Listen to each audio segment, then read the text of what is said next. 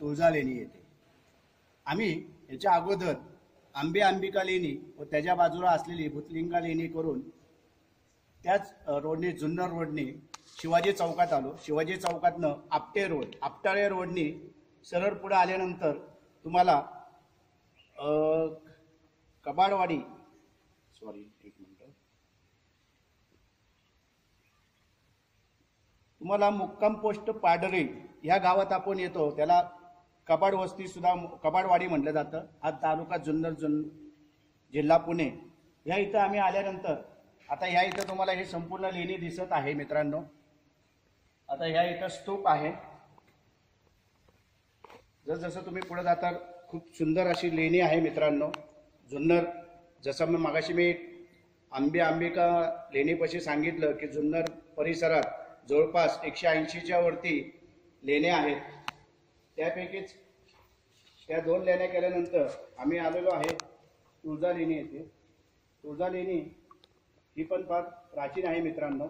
सम्राट अशोकांनी बुद्धाच्या पवित्र अस्थिदूतांवर चौऱ्याऐंशी हजार स्तूप बांधले लेणी कोरल्या. पहिली लेणी बिहार येथील बराबर येथे कोरली. त्यानंतर जगप्रसिद्ध सांची सारनाथ भरहूत येथील स्तूप आपल्याला माहितीच आहे मित्रांनो. सांची येथील बुद्ध स्तूपाचे चित्र आज नवीन आलेल्या दोनशेच्या नोटावेळेस आपल्याला पाहायला मिळते मित्रांनो. तर महाराष्ट्रातल्या जुन्नर तालुक्यातील एक लेणी समूह आहे. शिवनेरी किल्ल्याच्या पश्चिम बाजूला कडेलोटाच्या पायथ्याजवळ साधारण तीन किटवर लांबीवर एक टेकडी लागते. त्या टेकडीपासून जवळच ठाकरवाडी म्हणून एक गाव आहे. त्या गावाच्या शेवटी तुळजा लेणी आहेत मित्रांनो. भारतातील एकूण लेण्यांपैकी सर्वात जास्त लेणी जुन्नर तालुक्यात आहेत. त्यापैकीच तुळजा लेणीसुद्धा ही एक मानली जाते. तुळजा लेणीचे वैशिष्ट्य म्हणजे ही लेणी महाराष्ट्रात कोरण्यात आलेली सर्वात पहिली लेणी असावी. ही लेणी सम्राट अशोकांच्या काळातच कोरली गेली. असे इतिहास अभ्यासकांचे ठामपणे मत आहे मित्रांनो. या लेण्यांमध्ये असलेला स्तूप हा या लेण्यांमध्ये असलेला स्तूप हा अन्य ठिकाणी पाहायला मिळत नाही. या स्तूपाच्या भोवती बारा अष्टकोनी खांब आहेत मित्रांनो. हे जे पाहिले तुम्ही जे खांब दिसत आहेत हे जर पाहिलं तर हे बारा अष्टकोनी खांब आहेत मित्रांनो. आणि वरती गोमाकार घुमट आहे. बाजूलाच बौद्ध भिक्षुकांसाठी दगडातून कोरलेले विहार या साईडला तुम्हाला दिसत आहेत विहार आहेत भोजनालय आहे सभा मंडप आहेत. काही ठिकाणी सुंदर असे नक्षीकाम सुद्धा केलेले मित्रांनो पाहायला मिळतात. या इथे तुम्हाला तुळजाभवानी मातेचे मंदिर आहे. आतमध्ये खूप सुंदर मंदिर आहे. आता आपण आलेलो आहे तुळजा लेणी.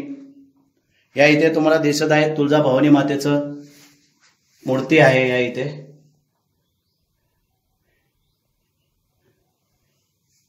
ही लेणी आहे. लेणी दाखवतो आता तुम्हाला. आता मंदिर बघा.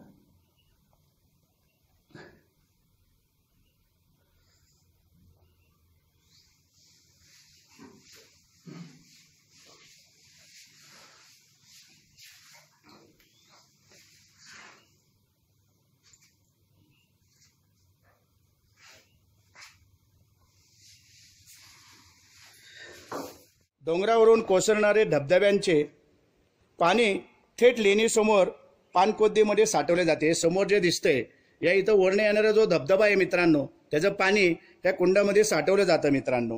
पावसाळ्यात सौंदर्याच्या लेण्यानं अगदीकच खुलून दिसतं. खरं तर ह्या लेण्यापाशी यायला तुम्हाला पावसाळा ऋतूच चांगला आहे कारण की धबधबा पाहायला मिळतो आणि खूप सुंदर असं वातावरण या इथं असतं. या लेण्यांचा अभ्यासासाठी अनेक अभ्यासक या ठिकाणी येत असतात. लेण्यांचे जे अभ्यास करणारे अभ्यासक आहेत ते नेहमी या ठिकाणी येत असतात मित्रांनो. आता लेण्यांचे व शिल्पकलेचे अभ्यासक महेंद्र शेव शेगावकर या लेण्यांबद्दल नेहमी सांगतात की या लेण्यांच्या निर्मितीचा काळ हा सुरुवातीचा म्हणजे इसवी सन पूर्व दोनशे तीसचा आहे. नंतर तिथे अजिंठ्यासारखे चित्रकलेच्या माध्यमातून जातक कथा व बुद्धचर्यातील प्रसंग साकारण्यात आलेले आहेत. या लेण्यांची प्रसिद्धी हेनरी कुझेनच्या कानावर गेली. मुंबईचा गव्हर्नर व तो लेणी पाहण्यासाठी येणार होते असा निरोप जुन्नरच्या कलेक्टरला मिळाला. गव्हर्नर येतात म्हणून लेण्यांची साफसफाई करून घेण्यात आली मित्रांनो. वाढलेली झुडपे पोलीस टिके पतकोल्याची घाण काढण्यात आली. ही घटना साधारणतः एकोणीसशे अठरामधील आहे. पाणी टाकून गोंडपाट कांबळीच्या मदतीने लेणीची भिंत स्वच्छ करण्यात आल्या. त्यामुळे काय झालं मित्रांनो ह्याला एक फार मोठा तोटा झाला. त्यांचा उद्देश जाण होते की ये- येणार आहे करणं त्याला आपण चांगलं दाखवूया. पण त्यामुळे काय झालं मित्रांनो ह्या इथली जे चित्र होती या कांबळीच्या मदतीने त्यांनी काय केले स्वच्छ धुण्यामुळं ती सर्व चित्रे नष्ट झाली मित्रांनो. जेव्हा गव्हर्नर व हेनरी कुर्जेन आले बघतात तर काय तो हा प्रकार ते पाहण्यासाठी आले होते ते नष्ट झालेले होते.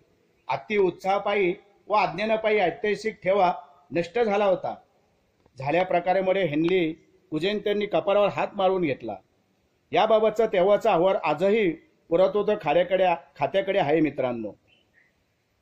आता साधारणतः आपण आल्यानंतर रस्ता सोडून पुढे पाय वाटेने जावं लागतं. या घाटात एकूण तेरा लेणी आहेत जर तुम्ही पाहिलं. तर या ठिकाणी एकंदर तेरा लेणी आहेत. यापैकी एक चैत्यगृह आणि बाकी विहार आणि सामान्य खोल्या आहेत. तीन लेणी ही अपूर्ण अवस्थेत आहेत. या गटामध्ये दोन पाण्याची कुंड असून इथे एकही शिलालेख आढळला नाही. लेणी क्रमांक चार आणि पाच लहानसा विहार असून त्याचा दर्शन भाग तुटलेला आहे मित्रांनो. एका खोलीत तुळजादेवीची स्थापना केलेली आहे. यावरून या गटाला तुळजा लेणी असंही नाव दिलं गेलं. क्रमांक आठ ते बारा पर्यंतच्या लेण्यामध्ये कलाकुसर आणि थोडी बहुत शिल्प राहिली आहेत. त्यात वेलबुट्टी चैत्यकमानी सुबक कोरलेल्या दिसतात. सह्याद्रीतल्या शिल्पकारांनी एकदा चैत्यगुहाचा आकार ठरवला तो एखादा अपवाद वगळता फारसा बदललेला दिसत नाही. कमानदान अक्षवटाखाली गवाक्ष लंबवर्तुळात खोरलेली गुहा गजपुष्टाकार छत छताला आधार देणारे खांब आणि त्यावर लाकडी फासऱ्यांची ओल आतील बाजूस भिंतीचा जवळ खोदलेला स्तूप अशी याची सर्वसाधारण रचना आहे मित्रांनो.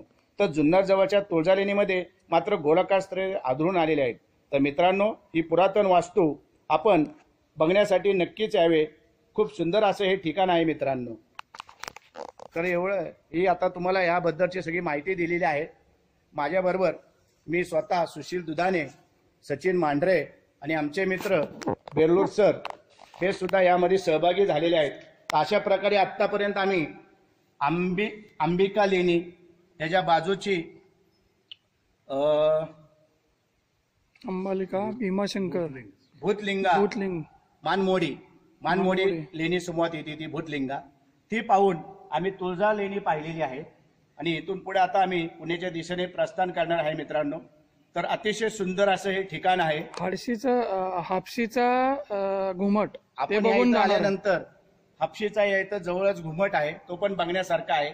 थोड्याच वेळात आम्ही तो बघून पुण्याकडं रवाना होणार आहे.